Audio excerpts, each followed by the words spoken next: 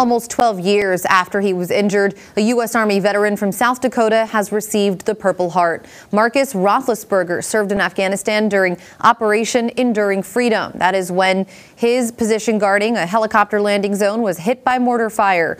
Roethlisberger, who is from Mitchell, says after the blast, he thought he was fine, but later discovered he had suffered a traumatic brain injury or TBI.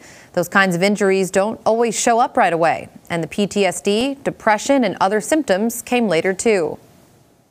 Those are the things that a lot of guys bring back, and that doesn't that goes untreated, if you will.